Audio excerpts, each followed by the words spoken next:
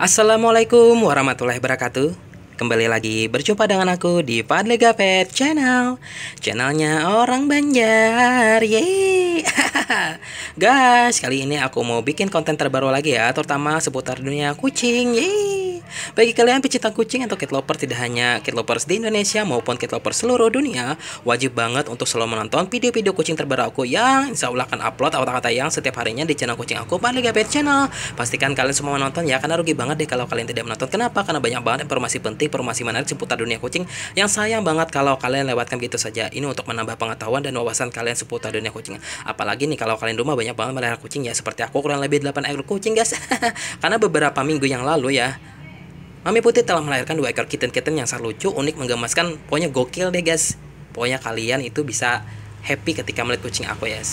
Nah bagi kalian penasaran terkait proses kelahirannya boleh saja kalian nonton videonya ada sudah terupload di YouTube aku ya beberapa minggu yang lalu, oke? Okay? Dan bagi kalian yang punya masalah terkait kucing peliharaan kalian, misalkan kucing kalian sakit-sakitan, kucing kalian malas makan, kucing kalian suka tidur-tiduran, kucing kalian hamil, melahirkan, kawin dan lain sebagainya ya, kalian takut, kalian khawatir, jangan takut dan khawatir guys. Kenapa? Karena aku punya solusinya guys. Solusi untuk mengatasi kucing bermasalah, solusi untuk meng mengobati kucing bermasalah, solusi untuk menangani kucing yang bermasalah tersebut. Makanya guys, langsung saja kalian kunjungi channel YouTube aku pada GP Channel untuk yang menonton semua video-video tersebut ya guys. Sudah terupload kok ya, karena aku cinta dan sayang sama kalian, cinta dan sayang sama cat cat seluruh dunia oke okay? boleh kalian kalian nonton sendirian di kos-kosan bagi kalian mahasiswa boleh bersama keluarga sahabat teman tetangga malah harus boleh guys malah aku senang video ini ditonton oleh banyak orang oke okay? dan bagi kalian yang belum subscribe ya please subscribe comment like and share guys please please banget nih karena satu subscribe dan sangat membantu banget untuk perkembangan dan kemajuan channel kucing aku agar channel kucing aku ini semakin harinya semakin sukses viral terkenal tidak hanya di Indonesia maupun di seluruh dunia semua itu berkat bantuan kalian ya berkat bantuan kalian yang sudah subscribe buruan tonton videonya ya. Buruan tonton videonya karena sudah terupload tuh. Dan yang belum subscribe buruan subscribe sekarang ya. Subscribe sekarang karena gratis guys. Gratis nggak berbayar oke? Okay? terima kasih aku tunggu loh ya. Guys kali ini aku ingin menyampaikan informasi penting banget buat kalian ya. Pernah nggak kalian ya melihat kucing itu menangis? Pernah nggak melihat? Apa apakah bisa kucing itu menangis ketika sedang sakit atau bersedih. Nah, simak penjelasannya sampai selesai ya, guys. Dan jangan di-skip, oke? Okay? Nah, bisakah kucing menangis berlinangan air mata seperti kita seperti manusia ya? Nah, pada manusia, air mata adalah respon biologis alami yang dapat melambangkan rasa sakit, kesedihan, kedukaan, dan bahkan kegembiraan. Itu hanya salah satu dari banyak organisme merespon situasi tertentu, tetapi dapat Apakah hal yang sama dilakukan oleh kucing? Jawabannya ya dan tidak. Mari kita bahas ini selanjutnya ya. Kucing menangis ya. Ketika kucing sedang sedih, takut, tertekan, atau terluka, si kucing memang merasakan dan mengekspresikan emosinya dan mendesis-desis, mengyong-yong berlebihan, menggaruk-garuk, bersembunyi, dan lain sebagainya. Kucing mengungkapkan pendapatnya dan emosinya dengan cara berbeda-beda loh guys. Mereka bisa menjadi mengancam dan destruktif atau sebaliknya menjadi tampak lesu dan tanpa tenaga.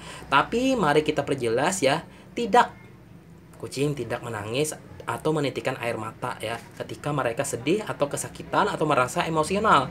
Tetapi kucing bisa menangis dan menitikan air mata. Nah, jika tangisan kucing bukan respon emosional, mengapa si kucing menitikan air mata? Nih.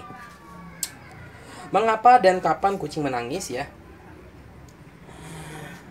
Mata manusia bisa menjadi basah ketika merasakan benda asing, ketika kita menderita kondisi medis ketika kita mengalami iritasi yang tidak berbahaya atau bahkan ketika kita bersentuhan dengan agen alergi pel 1 yang diproduksi oleh kucing.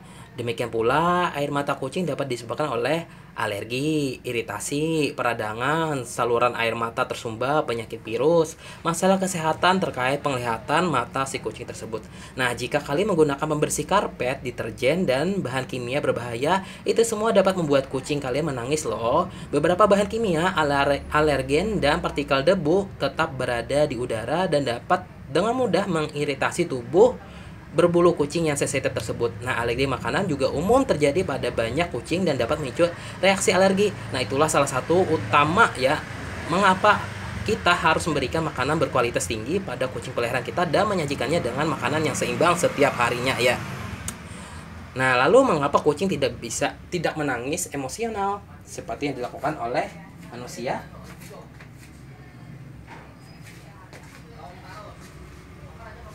Nah, kucing adalah makhluk yang kompleks ya, guys, ya. Alih-alih menangis seperti manusia, ya.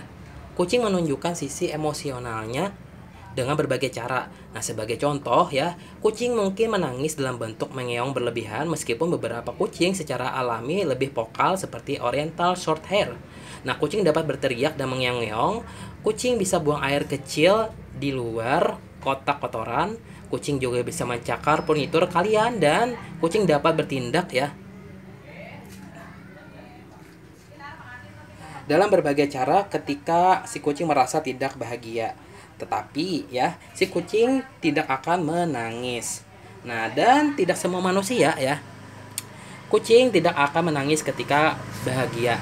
Sebaliknya, kucing akan mendengkur. Kucing akan menggosokkan diri pada kakinya. Kucing akan memperlihatkan perhatian kepada kalian. Kucing akan menolak untuk meninggalkan perabot atau barang yang membuat kucing tersebut senang.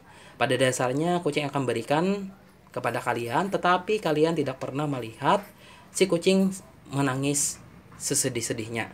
Nah, satu-satu air mata yang akan ditumpahkan kucing terkait masalah fisiknya tidak menyenang, menyenangkan alih-alih merasa masalah emosional pada kucing. Nah, jika kalian melihat kucing matanya berkaca-kaca, kalian harus beritahu dokter hewan ya apa pun penyebab air mata jangan pernah mencoba mendiagnosis sendiri ya penyakit kucing peliharaan kalian.